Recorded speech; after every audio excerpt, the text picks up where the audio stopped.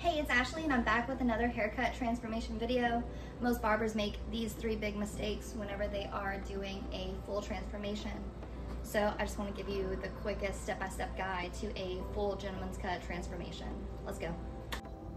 Step one, I'm going to begin by removing all of the bulk from the top of his hair. As you can see, he previously had an undercut, so this was quite grown out. And I'm just using my number four on my clippers to kind of take that away. And then going in, using my comb as a guide, I am going to start removing his hair with this number four.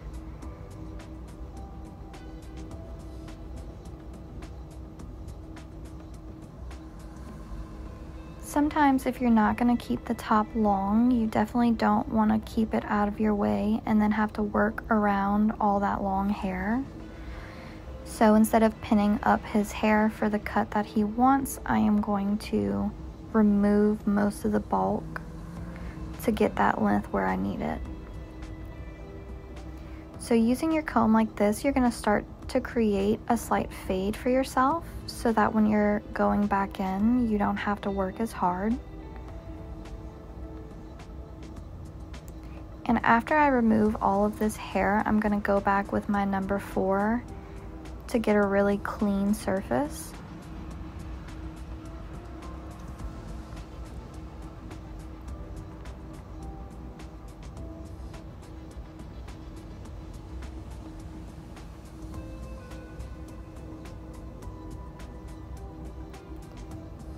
Step two, I'm going to start my taper.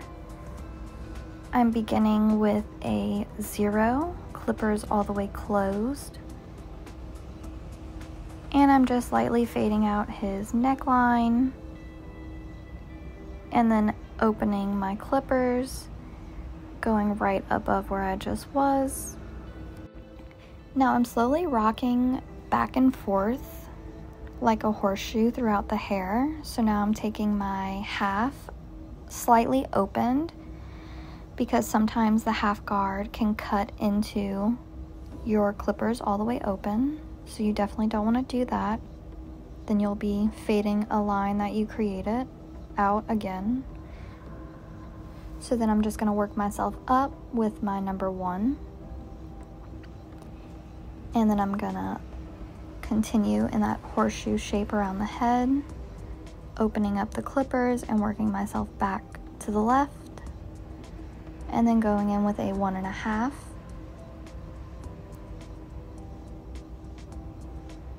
And just slowly tapping right above where that one was, and then opening up the one and a half and tapping above where the one and a half closed was. And then I'm gonna go with my number two. And I'm not gonna take this up to a three and then back to the four because I want it to be a little bit heavier. So I'm gonna open up my two and leave this right here. And then I'm gonna go into my step three, which is line up. And as I'm back here lining him up, I'm following the pattern of his natural lines and just bringing his hair down so I'm removing any bulk and creating a light taper around the edges. He really wanted his taper to stay mainly in the back and not on the sides as well. So I definitely want to leave some weight there.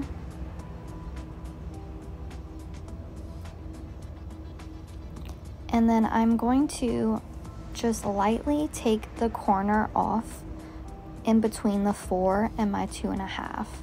And that's gonna be able to keep that heavy weight without me fading him all the way up because my three would have started to cut right where that weight was. And then on the other side, I am just going to continue lining him up and then going around his ear. And you can see me removing that weight by pulling that hair towards me and then just a nice C shape. You can see my hands are resting kind of on the client's head to give me more stability when I'm lining him up.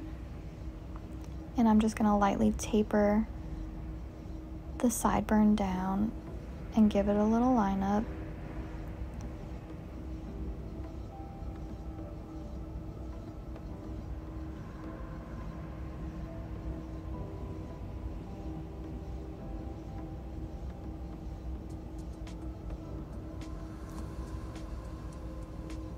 And then just double checking everything in the back, cleaning up any neck hairs.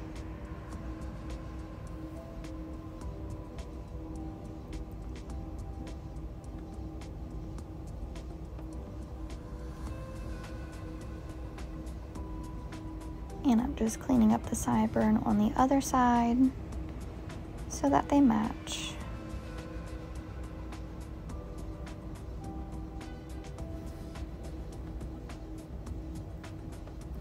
And then just kind of cleaning up his edge right here, pulling it out to the natural hairline, but kind of keeping that weight so it's still nice and full.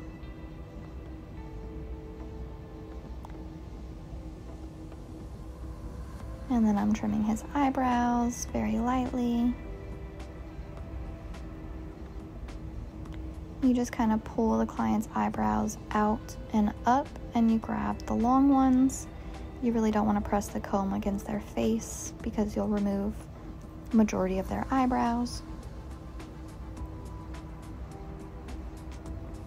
And then after you clean them off and get all that loose hair, you'll move into step four. We'll start by wetting his hair down so that everything can be the same exact length. He has a lot of volume, so I really want the true length of his hair.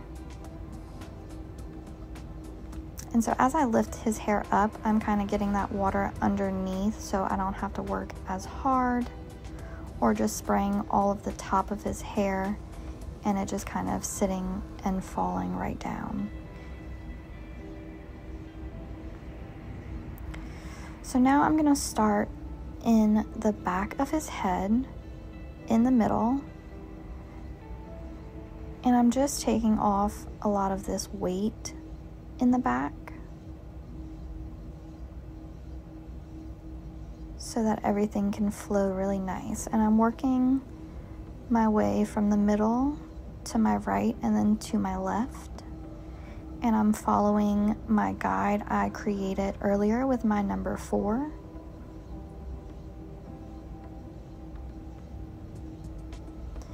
And as you can see, I'm slowly working myself up to keep that length.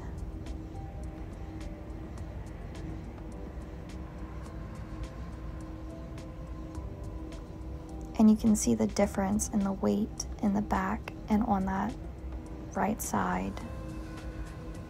And now just to even up his bangs before I start cutting the top too much, get it out of his face.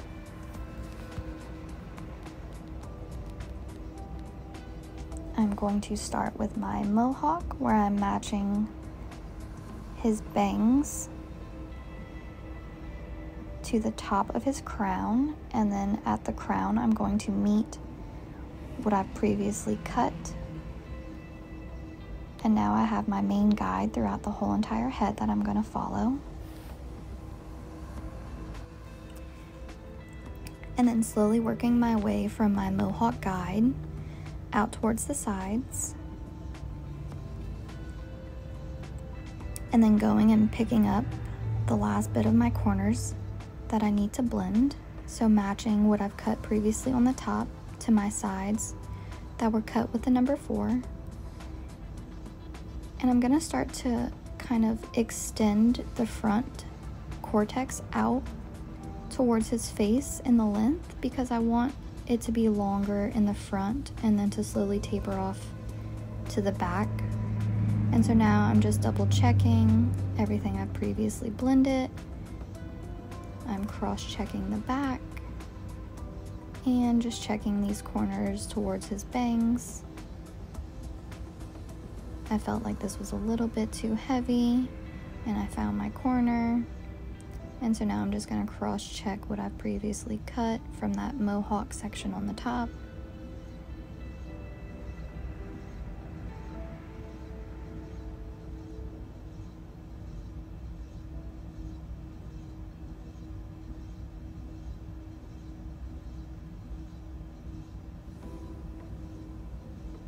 And I'm just cross checking the sides right there.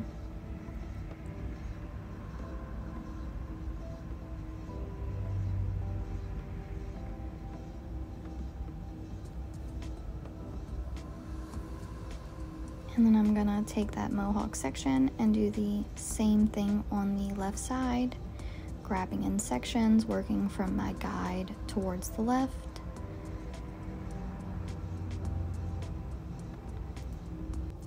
Slowly working my way towards the back of the crown. And then I'll repeat the same blending on the other side. And after that, I go in and cross check everything make sure everything falls right into place and that the client's happy with the length.